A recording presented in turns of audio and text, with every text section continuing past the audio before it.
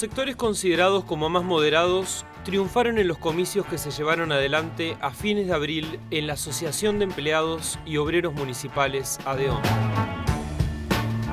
Si bien ninguna lista obtuvo por sí sola la mayoría de los 15 cargos de la dirección, aquellas encabezadas por referentes frente amplistas acumularon 8 cargos, alcanzando así una supremacía sobre los sectores extra frente amplistas.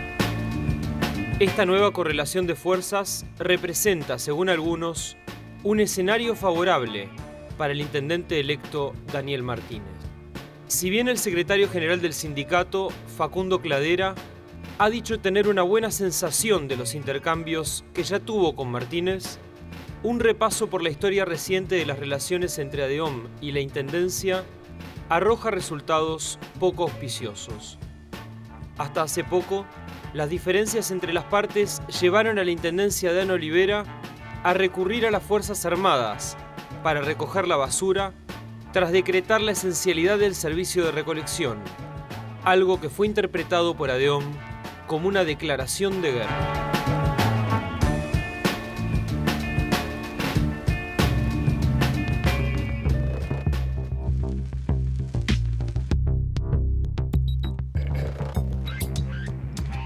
Facundo Cladera, secretario general de ADEOM, bienvenido a Primera Vuelta. Muchas gracias.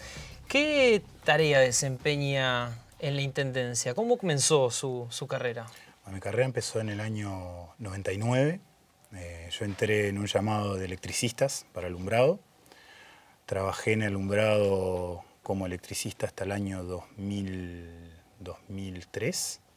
Ahí eh, gané un concurso de capataz de cuadrilla. Ahí trabajé también como, como capataz de cuadrilla, electricista capataz de cuadrilla, hasta abril del año pasado que gané un concurso de jefatura de alumbrado y ahora soy el jefe de alumbrado del municipio C. ¿Cuál es la actual plataforma de reivindicaciones de ADEOM? Bueno, eh, nosotros en este momento estamos apoyados en una plataforma que se votó hace dos años y elaborando la nueva plataforma que esperamos que esté terminada, este, esperamos no, va a estar terminada para fin de julio. En realidad hay un montón de, puntos que todavía este, no se han resuelto, unos cuantos puntos que no se han resuelto a la plataforma anterior, que obviamente van a pasar a esta, porque hay temas de carrera, este, remunicipalización de servicios, seguridad laboral, que son temas que esos van a seguir eh, siempre pendientes hasta que en algún momento se resuelvan o por lo menos se llegue a un punto de medio hasta que por ahora de todos los temas de carrera se resolvieron muy pocos. Este, bueno, eh, presupuestaciones de compañeros, hoy en día tenemos compañeros con funciones de contrato, caso de TV Ciudad, caso de Teatro Solís, este, Filarmónica, eh, bueno, parte de, los cargos de conducción de los informáticos. Hay un montón de cargos acá que son cargos de contrato que nosotros entendemos que no, que no deberían de serlo, que deberían de ser presupuestados. Todos los cargos, trabajador permanente en la Intendencia tiene que estar presupuestado. Y después tenemos otra parte que es la plataforma salarial. Nosotros pretendíamos eh, llegar al día de hoy, a la finalización de este gobierno, con la media canasta básica familiar como sueldo mínimo este, municipal. No llegamos a eso. Y bueno, una de las discusiones eh, que vamos a tener con nuestros compañeros eh, va a ser, bueno, cuáles son las, las proyecciones y qué es lo que nosotros pretendemos para este quinquenio. Eso va a estar a fin de, julio. ¿Qué evaluación hace de las gestiones anteriores a su nombramiento al frente de la Secretaría General de ADEOM? Bueno, las anteriores, eh, yo participé en el sindicato estando Erlich y bueno, todo el gobierno de Ana Olivera. Eh, lo que pasa es que la evaluación general mm, tendría que ser, bueno, nosotros nos planteamos una plataforma reivindicativa y estudiamos dentro de los puntos de la plataforma qué logramos y qué no logramos. Ese balance es bastante magro, ¿no? hemos logrado, si bien hemos logrado cosas importantes, este, eh, hay un montón de cosas que quedaron en el camino. Bueno, se firmó un convenio en el año 2012, este, un convenio salarial, que en realidad, bueno, hubo una polémica con respecto a cómo se llevó ese convenio, pero bueno, finalmente se resolvió ese convenio, que es el que rige hasta el día de hoy, que en realidad eh, en su base estaba que se iba a dar un adelanto de IPC. Nosotros íbamos a cobrar, nosotros íbamos a, hoy estábamos cobrando el IPC pasado, íbamos a pasar al frente y íbamos a estar cobrando el IPC eh, futuro. Eh, la cifra que se tomó, que era bueno, la mitad de la banda del estudio que hace macroeconomía de, del Ministerio de Economía sobre la proyección del IPC, una proyección que estaba en un, en un 6%, en un 7%, perdón, y, este, y que estaba superando el 12 o el 13, y entonces como nosotros somos cada seis meses, nos daban la mitad de esa, de esa banda. Fue un 2,5, nosotros recibimos ese 2,5 en el 2012 y nunca tuvo variación ese 2,5 nos dieron el 2,5 y después, bueno, nos, daban el IPC pasado, les, descontaban e, ese 2,5 y así la fuimos llevando. Hoy en día estamos con el 100% de IPC pasado, básicamente, porque ese 2,5 en realidad es un ida y venida. Este, o sea que, bueno, nosotros no hemos recuperado salario desde el año 2001, cuando se violó el convenio. Este, después tuvimos el juicio que de alguna manera eh, nos devolvió algo de la pérdida, pero estamos desde hace 15 años sin recuperar salario. ¿Estamos ante un gremio radical? bueno, un gremio radical.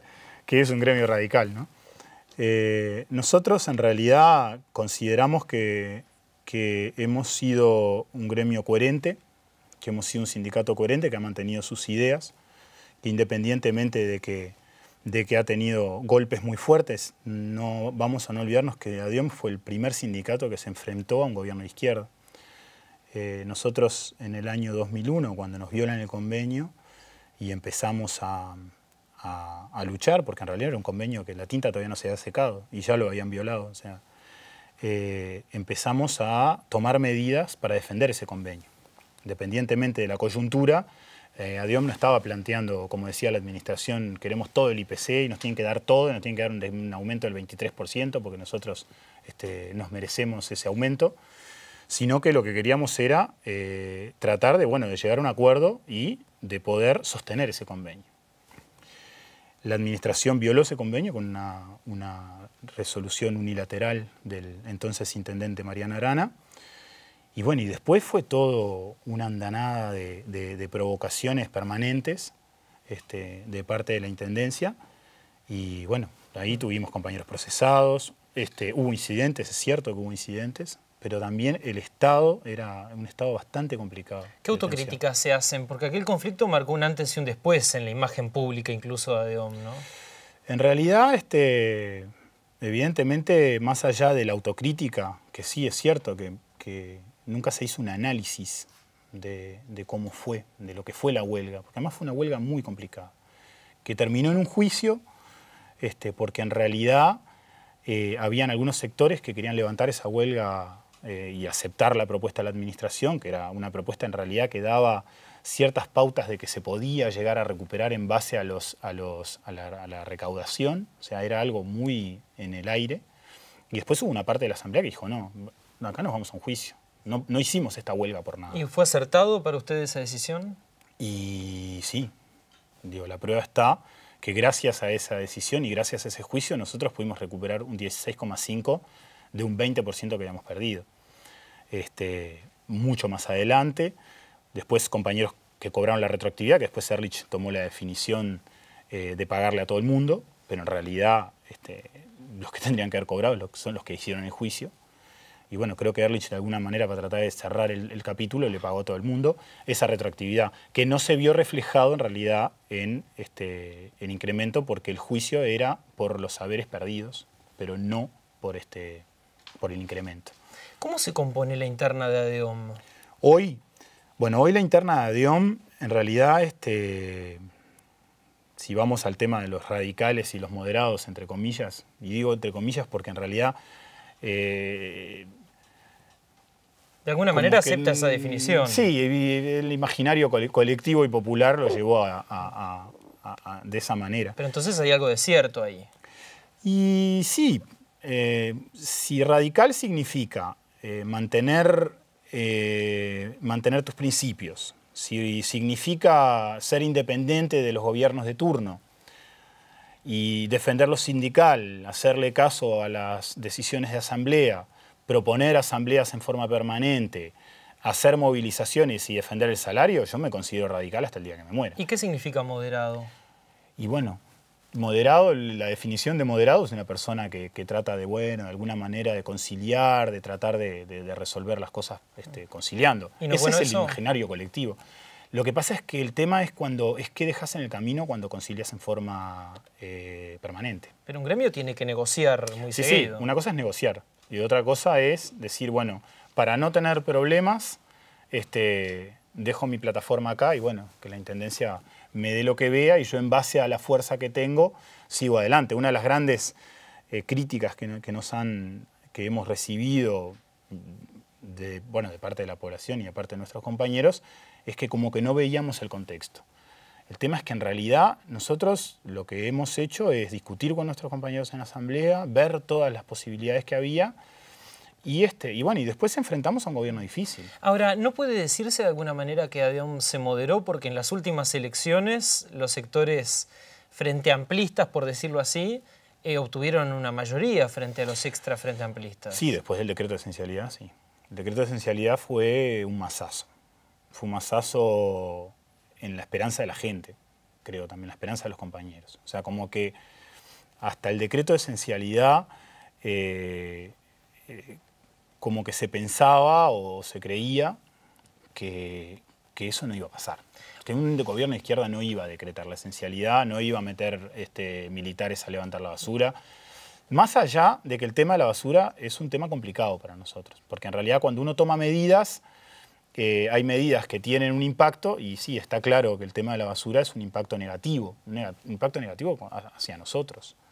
Pero en realidad eh, la única herramienta que tiene un sindicato para lograr sus reivindicaciones es la lucha. Y la lucha genera distorsiones en todos. ¿Y, por qué ustedes interpretaron como una declaración de guerra ese decreto de esencialidad? La forma. Primero porque el decreto de esencialidad eh, fue un invento de la dictadura. Fue un invento de Pacheco, antes de la dictadura. Pero fue un invento este, de la derecha. Entonces, eh, en realidad nosotros entendemos que era una situación complicada. Pero aparte fue el método en que se decretó esa esencialidad. Nosotros veníamos negociando eh, el tema salarial. En realidad hubo, eh, nosotros arrancó, en julio arrancó una libera, eh, hasta octubre Ana Olivera no, no quiso discutir nada que tenga que ver con salario. Recién en octubre lo que hicieron fue, este, nos recibieron, mira, agarraron la, la, plataforma nuestra y dijeron, bueno, miren, esto que ustedes piden vale tanto.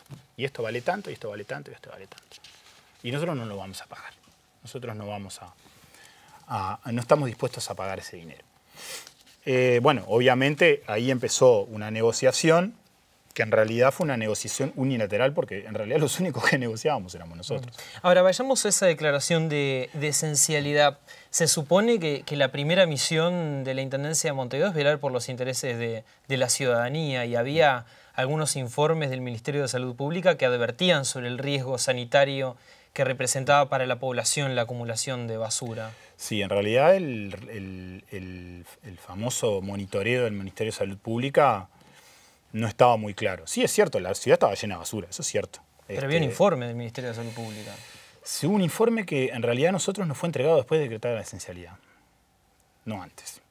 Entonces, eh, como que había, fue el momento de la asamblea del, del, del Club Aguada, en esa asamblea habían dos mociones. Había una moción que era eh, eh, seguir con paros perlados, pero más distanciados.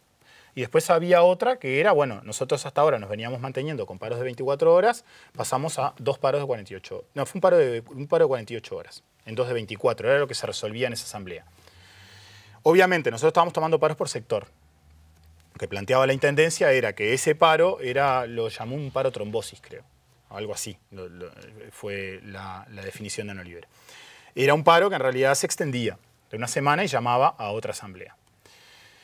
Nosotros en ese momento, por lo menos lo que dice la ley de negociación colectiva, es que en ese momento lo que tendría que haber pasado es, tendríamos que haber ido al ministerio, la Intendencia tendría que haber dicho nosotros este, vamos a decretar la esencialidad, ustedes se tienen que autorregular, y ahí el sindicato tenía que presentar una autorregulación, en forma inmediata. Este, en el caso de decretarse la esencialidad. Eso es lo que plantea la ley de negociación colectiva. Nosotros salimos de la. Nosotros entramos a la asamblea a las 11 de la mañana y ya los cantones de buceo ya estaban ocupados con militares. El del buceo ya tenía militares dentro y estaba ocupado, estaba cerrado. Ahora, previamente, ¿ustedes no eran conscientes del riesgo que representaba? Usted decía recién, la ciudad estaba llena de basura, del riesgo que representaba esa acumulación en la vía pública para la salud de la gente. En realidad sí, digo, nosotros, eh, eh, vuelvo a repetirte, el tema de la basura es sensible. O sea, nosotros vivimos en Montevideo, nosotros la veíamos esa basura. El problema es cuando vos te embarcaste en una lucha por salario, en, una situación donde no hay negociación, eh, las tareas que vos realizás se ven resentidas y hay tareas que son, capaz que si, yo qué sé, por ejemplo, la huelga de tránsito, eh, se empezó a notar cuando se empezó a, la gente a darse cuenta de que los inspectores de tránsito servían. Pero no tuvo un impacto tan grande como la basura. La basura tiene un impacto, tiene un impacto negativo en, la población. Nosotros entendemos y sabemos de ese impacto negativo. La casa de Mabel Lolo, no sé si tú recordás, le llenaron de basura toda la puerta de la casa. O sea, bueno, le llenaron la, la, puerta de la casa de basura. Vecinos de Montevideo. Vecinos de Montevideo, vecinos de la, de la vuelta. Este, en realidad tiene que haber un estudio, sí, con respecto a, un montón de, situaciones que generan esas medidas. Pero bueno, en ese momento eh, era la herramienta que teníamos y bueno, si hubiera existido alguna disposición de la Intendencia de tratar de resolver algo, pero en realidad nosotros entendemos que, y creo que muchos compañeros lo entienden así, en que el decreto de esencialidad fue un tema inducido y estaba planificado de antes. O sea, como que ya se sabía hacia dónde se iba y los que capaz que nos dormimos un poco fuimos nosotros. Lo invito a hacer una primera pausa. ¿Cómo no?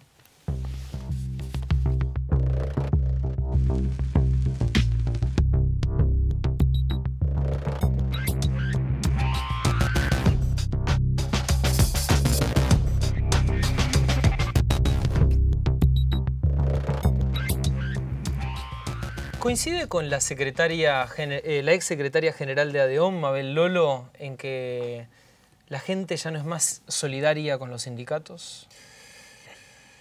Yo creo que eh, me puede coincidir en parte. ¿Por qué? Porque lo que veo, y esto es un tema eh, personal, pero creo que es una percepción general, es que como que, como que pelearla está mal visto. Como que fíjate que cuando se instaura el IRPF en este país, este, nadie pegó el grito en el cielo. Pegaban el grito en el cielo a medias voces, o en las redes sociales, o en las discusiones, o en los foros, pero no se concentró una cantidad de gente en la puerta del Ministerio de Economía, por lo menos a hacer un cacerolazo. Y fue un masazo el IRPF, fue un masazo para un montón de gente. Y la justificación era, bueno, hay un montón de gente que no va a pagar nada. Pero le dieron en la nuca a un montón de trabajadores. Y digo, uno como que ve que hay un estado de desmovilización general eh, o, de descreimiento que puede hacer llevar sí que no se sea solidario con el sindicato. O sea, hoy en día, cuando un sindicato toma medidas y genera alguna distorsión mínima, eh, la gente no piensa en el porqué de esas medidas. O, que de alguna manera hay un montón de medidas que toman los sindicatos que son en favor de toda la población, de toda la sociedad. ¿Y no será al revés que desde una lectura quizás más marketinera los sindicatos ya no buscan ganarse la, conciencia de la sociedad? Puede ser, digo, puede ser. En realidad este, son diferentes visiones que, no todas tienen que ser contrapuestas. Eh, hay visiones que son complementarias. Yo creo también que hubo un cambio en esta sociedad y que quizás en un montón de sectores ese cambio no se acompasó con la realidad. Y hay quizás eh, algunos pensamientos que, que, siguen creyendo que los métodos son siempre los mismos. Y los métodos cambian, porque la sociedad cambió. Esta ¿Pero sociedad ha cambiado los métodos? Y ADEOM en, en un montón de, cosas eh, se está evolucionando y se está transformando un poco, porque además hay un cambio generacional. ¿Y dónde puede observarse ese cambio? Y yo que sé, que yo lo diga puede quedar mal, porque en realidad eh, para, mí nosotros continuamos con los mismos métodos. Pero, pero usted se supone que está a la cabeza de los cambios. Bueno, uno de los primeros cambios creo que tiene que ir en el eh, informar mejor, de alguna manera tratar de que, de que se entiendan, de que las cosas se entiendan más. Tratar de hablar un, un, este, un lenguaje que de alguna manera eh, esté un poco más eh, actualizado. Que no quiere decir que cambie la, base, porque la base no cambia, pero sí tratar de que nosotros lo que queremos de alguna manera, y creo que lo quieren eh, todos los dirigentes sindicales, es que el que no esté involucrado en el sindicato entienda la pelea de, de otros sindicatos. ¿Y cambios en la metodología de la lucha, por ejemplo? Y en definitiva, algunas, algunas cosas se pueden modificar, pero otras no, porque en realidad las herramientas que tienen los sindicatos no son demasiado grandes. Uno podría decir, bueno, una herramienta sería la comunicación, por ejemplo. Decir, bueno, hacer un trabajo en comunicación para que se entienda mejor lo que nosotros planteamos. Pero en definitiva todo va a terminar en una paralización y la paralización va a terminar en una distorsión. Así que, por ejemplo, ADEOM podría insistir en interrumpir reuniones de gabinete.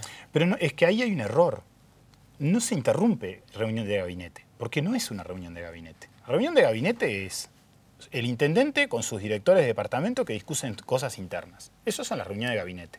Los acuerdos que se dan los lunes a las 2 de la tarde... son abiertos. Son abiertos. Pero ustedes los han interrumpido en No, no los hemos interrumpido. Hemos iniciado, hemos entrado. Los acuerdos empiezan a las 2 de la tarde. Nosotros vamos a las 2. Interrumpir es ir a las 4. Nosotros vamos a las 2 de la tarde y antes de que comience el acuerdo lo que hacemos es pedirle al intendente que nos escuche, hacemos el planteo y nos vamos. ¿Por qué? Porque el intendente no nos recibe. Si nosotros pedimos una reunión con el intendente y el intendente nos recibe, no necesitamos ir a los acuerdos. El acuerdo es donde lo encontramos. Se lo preguntaba porque el designado director de gestión humana, Eduardo Brenta, ha dicho que esa no es una medida adecuada. Bueno, si respetan la ley de negociación colectiva, si el intendente recibe a sus trabajadores, a su sindicato, al sindicato, a su sindicato no, perdón, si recibe al sindicato, si la bipartita discute los temas, digo, nosotros no tenemos necesidad de ir al acuerdo. Ahora, si nosotros pasan dos o tres meses que no vemos al intendente, la bipartita no resuelve, eh, eh, no resuelve las cosas o no da respuesta. O por ejemplo nos dice, bueno, lo estamos estudiando, pasa un mes, pasan dos meses, y bueno, tenemos que ir, concentrar, hacer una movilización a los trabajadores, entramos, eh, hacemos el planteo y nos vamos, porque además esa es la metodología tan tan eh, interrumpidora de... Lo que pasa es que, claro, genera, genera eh, impacto la cantidad de gente. Pero bueno, si hay 200 trabajadores o 300 trabajadores que se concentran para hacer un planteo, creo que lo hacen porque realmente eh, está la necesidad de hacerlo. O sea, no es hacer un hecho político por hacer un hecho político. ¿Cómo vio la designación de Brenta? Porque fue el mismo que firmó el decreto de esencialidad en el 2010 y será el va a ser el director de gestión humana. Veremos cómo... Eh, o sea, nosotros a priori no vamos a hacer juicio de valores. Evidentemente, el, ministro de Trabajo firmó un decreto de esencialidad, cierto. Eh, lo aplicó en Olivera, cierto. Ahora, el responsable es el presidente también. El presidente de la República es el responsable también de decretar la esencialidad. O sea, creo que no recaen las personas.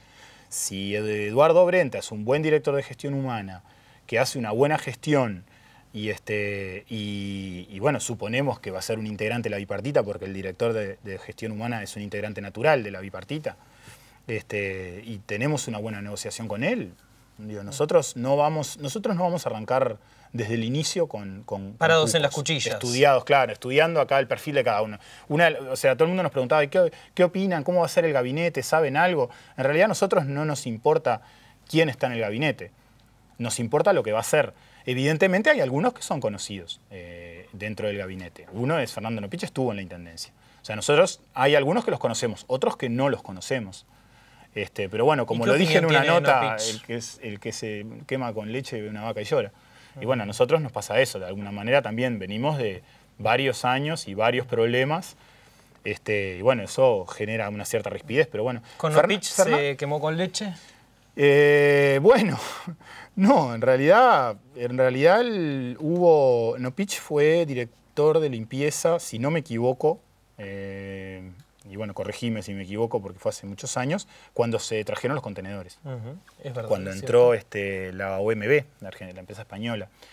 En ese momento se hizo una reducción muy importante de personal, se planteaba que el cambio de tecnología iba a reducir el personal, este, y bueno, y hoy el balance que hacemos es que en el circuito de limpieza hay mucho más gente trabajando que antes. Porque antes que no tienen una muy buena opinión de la designación de Nopich como secretario No, no tenemos opinión, no, tenemos opinión ni buena ni mala. O sea, no nos formamos, ya te digo, al inicio no nos formamos ninguna opinión mala. Digo, eh, eh, evidentemente... eh, Pre- pregunto porque usted dijo que se quemaron con leche. Sí, pero yo me refiero a la gestión de, de- de- de gobierno de estos últimos 25 años. Mm, pero y es el mismo partido rostro. de gobierno. Este, sí, algunos sí y otros no. Este, ¿Por qué desde hace al menos una década tiene tan mala prensa ADEOM? ¿Será porque, como ustedes dicen, la Intendencia los enfrenta a la ciudadanía, a la población, o hay algunas conductas propias que también generan ese rechazo? Bueno, esto es como un matrimonio, ¿no? Es de dos.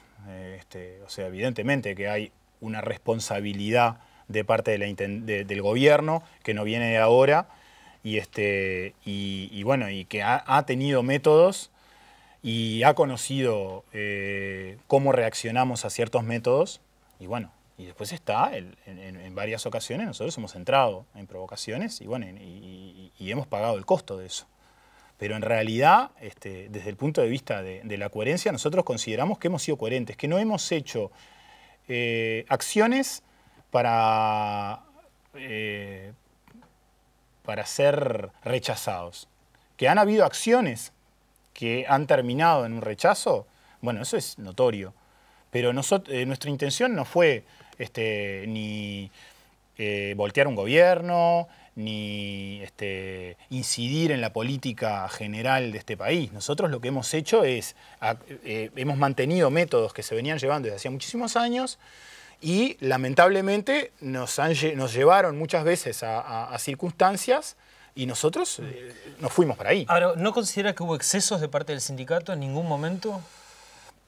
Eh, lo que pasa es que sí, digo, en, realidad excesos, pu- yo creo que más bien, más que excesos lo llamaría errores metodológicos. Ahora, por ejemplo, usted recordará la, la famosa frase de un sindicalista de OM que, que le gritó canceroso a un director de la Intendencia de Montevideo Bueno, eh, estaba ya muy enfermo. sí, en realidad eh, sí, eh, eso lo recuerdo.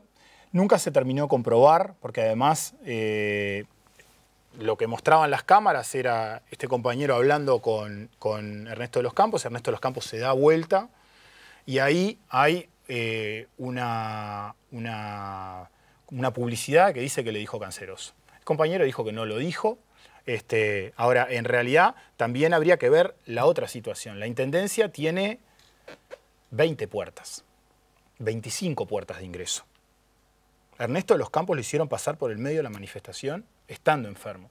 Eso también hay que verlo. Y estábamos hablando de una manifestación de una primera huelga con una violación de convenio, con la esperanza de un montón de gente, porque en esa, en esa manifestación había un montón de frente amplistas que se estaban sintiendo traicionados por su propio par- partido de gobierno. Y en realidad, de alguna manera, este, yo si hubiera sido el intendente de Montevideo, a mi amigo Ernesto de los Campos le digo, no, no agarres por ahí. Eh, ¿Usted coincide de que los conflictos de DEOM terminan fortaleciendo más a la Intendencia que al sindicato? Eh, no, no. Porque a veces da esa Hay impresión bueno, hay de momentos... que la población termina reclamando mano dura Claro, para el sindicato. hay momentos, eh, hay momentos en, en que yo creo que a la Intendencia le servía el conflicto.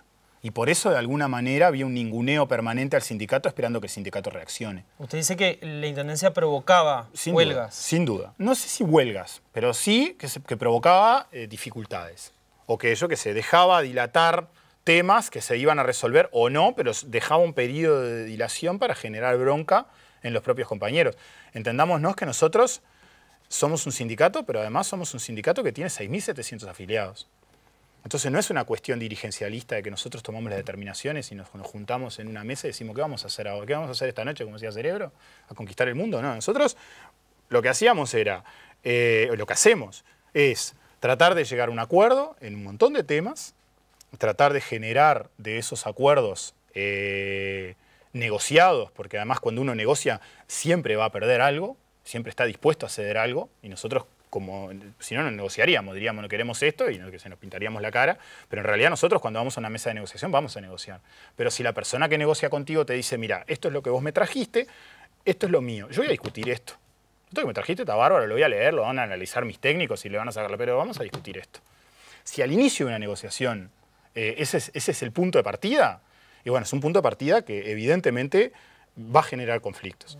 Ahora, claro, eh, hubo un momento en que en- cuando el- el- el- la, eh, popularidad de la intendente o de la intendenta baja mucho, casualmente en esos momentos se busca algún conflictito con ADEOM.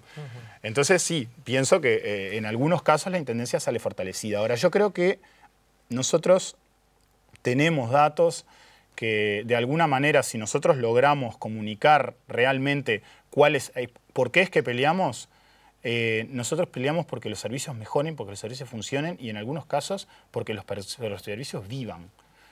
Y eso eh, redunda directamente en la población. Ahora, eh, no es solamente un problema de imagen, da la impresión. ¿Hay razones más profundas que incidan en esta valoración de, la ciudadanía? Porque hay una serie de transformaciones de carácter cultural en el comportamiento de la sociedad, del vínculo de los ciudadanos con los servicios que presta la Intendencia, en el sentido ya no de ser ciudadanos, sino de ser usuarios de un servicio eh, clientes del Estado, digamos, por decirlo así. Eh, bajo esa concepción del reclamo de los ciudadanos como, como clientes, como usuarios, como consumidores, que además lleva a un cambio de humor en relación a los reclamos sindicales, ¿ustedes en su estrategia analizan o tienen en cuenta estas transformaciones de la sociedad? ¿Cómo se paran frente a esto? Y bueno, nosotros hemos eh, incidido en transformaciones de servicios, por ejemplo, eh, la entrega de libretas de conducir, que hoy en día eh, se están entregando libretas prácticamente un día para el otro y agendando, eso fue una iniciativa de los trabajadores de libreta de conducir. Libreta de conducir trabajaba en un sótano que no tenía ventilación y llegó un momento que los trabajadores dijimos, oh, basta, así no se puede trabajar más, no podemos atender a la gente de esta manera, no hay donde sentarla y se hizo un proceso de transformación que salió de parte de los trabajadores. Con respecto a limpieza también, hubo proyectos que salieron de parte de los trabajadores. Pero la gestión, y en eso me apoyo en lo que dijo Eduardo Brenta también en el mismo, en el mismo, eh, eh, en la misma entrevista, nosotros no somos un cogobierno, nosotros somos un sindicato. El gobierno es quien elige, quien es elegido para ser intendente. Nosotros no cogobernamos. O sea, no se van a hacer responsables de la gestión. No, pero es que no cogestionamos. Nosotros somos un sindicato, o sea, nosotros tenemos que defender intereses colectivos y tenemos que defender también los servicios para que los servicios que se presten a la población sean mejores servicios. Hay un montón de servicios que se tercerizaron. La paramétrica que, usa, que tiene la Intendencia para el costo de las obras es altísima. Se arma un canal como TV Ciudad y se está haciendo un fideicomiso, se está planteando que tiene que funcionar con un fideicomiso, que los trabajadores tienen que estar eh, en el imaginario de, los políticos. Si los trabajadores están colgados del pincel, van a trabajar mejor. Le invito a seguir hablando de este tema después de la pausa.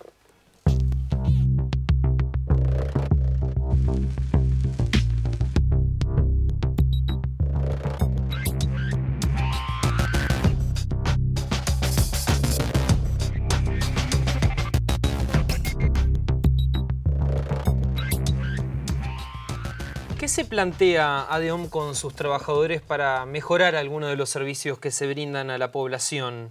Eh, ¿Alguien está en su derecho de decir, bueno, además de reclamar em, legítimamente algunos derechos, ¿no es misión de ADEOM también mejorar la atención al público?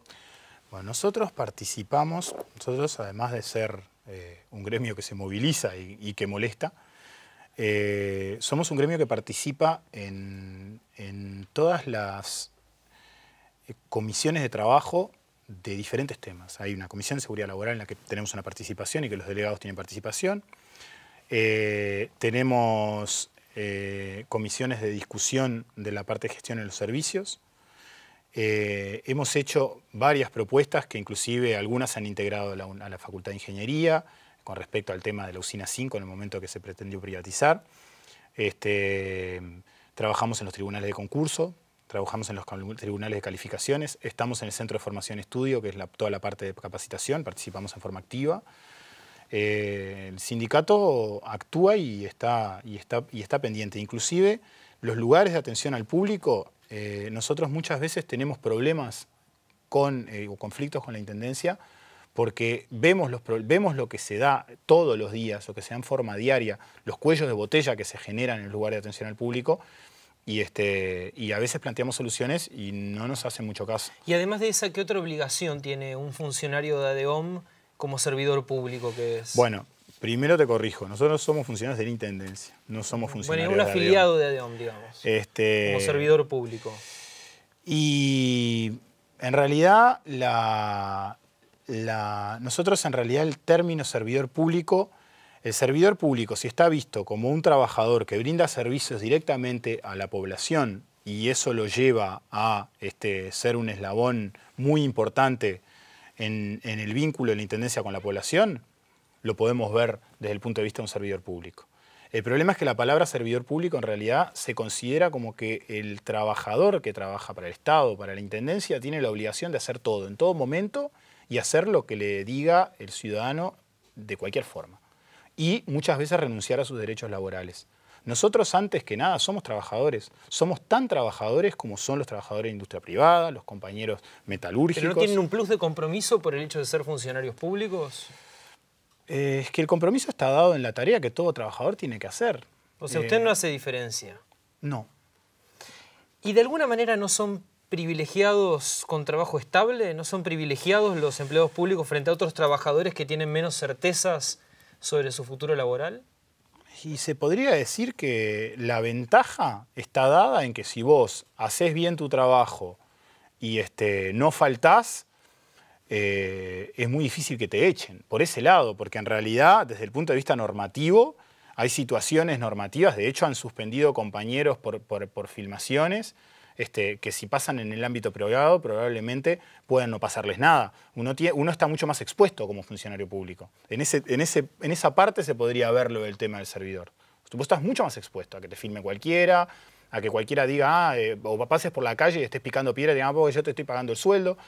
Y eso genera también una, diferencia. Pero desde el punto de vista del, servidor público, creo que está en servidor público el cajero del supermercado, o sea, cualquier persona que brinde un trabajo que trabaje con el público eh, se podría considerar como un servidor público.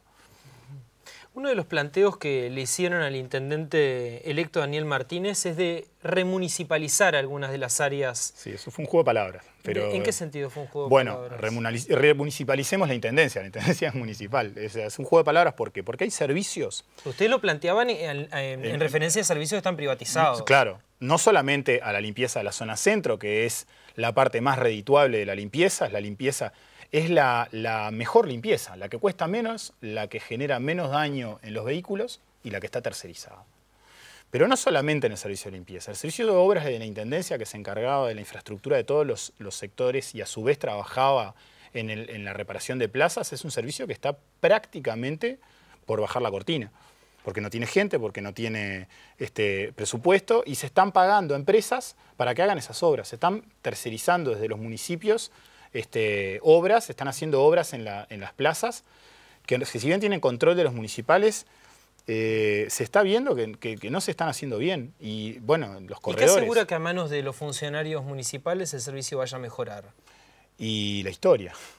Este... Pero si uno repasa la historia reciente, mucha gente puede decir, bueno, con todos los problemas que se ocasionaron entre la Intendencia y el sindicato... No nos brinda garantías, decís vos. Y lo que pasa es que las garantías están dadas por, el cumplimiento de, los acuerdos y por, y por la gestión. O sea, muchas veces los trabajadores somos la cara visible de la gestión y somos los que pagamos los platos rotos. Si la gestión está bien hecha, este, los laureles se los lleva a la administración y si está mal hecha, la crítica se la llevan los, trabajadores. Eh, nosotros en realidad eh, lo que ha sido la limpieza de Montevideo eh, se nos ha querido de alguna manera responsabilizar por los paros. En estos últimos dos años no hemos tenido prácticamente paros y la ciudad sigue sucia. O sea, en realidad lo que antes se, trajo como un gran proyecto que fue los contenedores, eh, nos ha demostrado la, historia de estos últimos 10 años que hoy tenemos a el que levanta la basura dentro del contenedor, el que levanta las bolsas que están alrededor, el que controla los carritos para que no anden en la calle. O sea, hay un circuito mucho más amplio que el de la recolección que había antes. ¿Por dónde pasa la solución a la basura según la experiencia de ustedes? Eh, yo creo que pasa por varios ejes. Eh, un eje es la educación también, la educación ambiental. O sea, que, el ciudadano conozca y sepa cuál es el circuito de la basura, porque en realidad lo tiene que conocer. Hay ciudadanos que, no tienen idea de qué hora pasa el recolector. De alguna manera se, dijo que el contenedor este, estaba ahí, que se podía sacar la basura a cualquier hora. Pero en realidad, la verdad, verdad de la milanesa es que si se saca la basura a las 9 de la mañana, esa basura va a estar ahí adentro hasta las 11 de la noche. A su vez, tiene que haber también este, eh, eh, una gestión que tenga la cantidad de trabajadores y la cantidad de vehículos suficientes para que si se rompe un camión no quede un circuito sin levantar, que hoy se está trabajando al hilo. Entonces tiene que haber inversión, tiene que haber este, gestión y bueno, eh, evidentemente que los trabajadores de limpieza están comprometidos con su tarea. ¿Qué opinión tiene ADEOM de la reforma del transporte que proyecta Daniel Martínez para su gobierno? Lo que pasa es que en realidad con el tema del transporte está ya tan, tan, tan, tan, tan tercerizado que este, digo, del, hablar del, transporte colectivo. Sí, transporte no Tenemos, no tenemos opinión ¿Habría que remunicipalizarlo también? Y yo creo que remunicipalizar el, transporte colectivo ya sería demasiado complicado. O sea, no, ahí no sé, ahí no, nosotros no lo reclamamos. La relación izquierda en el gobierno e izquierda en los sindicatos es contradictoria. Hay tironeos, pero esa relación te permite cosas que antes no tenías ni de canto, dijo Montevideo Portal el dirigente del, Zunca, Óscar Andrade. ¿Qué reflexión le merece? Y mirá, eh, si nosotros hacemos un balance de, este gobierno eh, que estuvo en la Intendencia en estos últimos 25 años, de izquierda, eh, en realidad las recetas que se aplicaron, más allá de que se podría hacer todo un estudio de si mejoran los salarios, si mejoran los servicios, que eso es un tema que, se tendrá que hacer este, mucho más general, este gobierno violó un convenio decretó la esencialidad y puso y militares a trabajar y a hacer la tarea nuestra. Esas son cosas fuertes. Pero ¿de cómo hubiese conseguido, por ejemplo, una reducción de la jornada laboral de 8 a 6 horas con un gobierno de derecha en Montevideo? Y peleándola pienso que sí, pero no sé. Evidentemente en el momento, fue un momento también eh, cuando se logra esa reducción, fue bueno, el primer gobierno de izquierda que además este, obviamente de alguna manera y se escuchaba eso. Ahora son empleados, este, ahora van a ser, este, yo eso lo escuchaba, no era todavía funcionario de la Intendencia. Decía, el Frente Amplio le paga bien a sus empleados. Y eso era una cosa que se escuchaba ahí. Este, y bueno, yo creo que en realidad hay un montón de, situaciones que se lograron. Vos fíjate que en el 89 hubo una huelga eh, por limpieza. Eh, y se le hicieron huelgas muy grandes a los, partidos tradicionales. Y se lograron cosas. Este, de hecho, eh, en el momento, en el 89-90, el salario, después de la adecuación, que de alguna manera lo que hizo fue, ya había gente que trabajaba este, seis horas, lo que se hizo fue, bueno, se emparejó a todo el mundo a seis horas, ya había gente trabajando seis horas. Este, el, el salario comparado con la canasta básica en ese momento era mayor que lo que es el salario comparado con la canasta básica hoy. Facundo Cladera, secretario general de ADEOM, muchas gracias por venir a primera vuelta. Muchas gracias por invitarme.